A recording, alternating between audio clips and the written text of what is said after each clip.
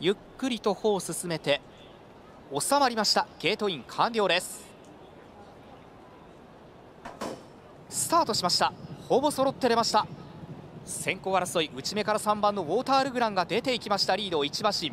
2番手内から2番のマイネル・レノンで外からは7番のエイシンフェンサー11番茂課長と2番手集団3頭です。この1馬身後ろから上がっていく14番の名称噴景3コーナーカーブ。6番のシュベルトライテ外に10番ミルトクレイモを並んでいっています。すぐ後ろから4番ラキエータ34コーナー中間です。1馬身差中段に15番のブッシュガーデン。その後ろは12番萩野メーテル13番萩野モーリス。内からは8番蒼天が続いていって34コーナー中間を過ぎていきます。前半の633秒7で通過していきました。あと後方3頭16番のワンスカイ。3馬身がいて後ろ2頭。5番のサニーオーシャンと1番ロードラスターです。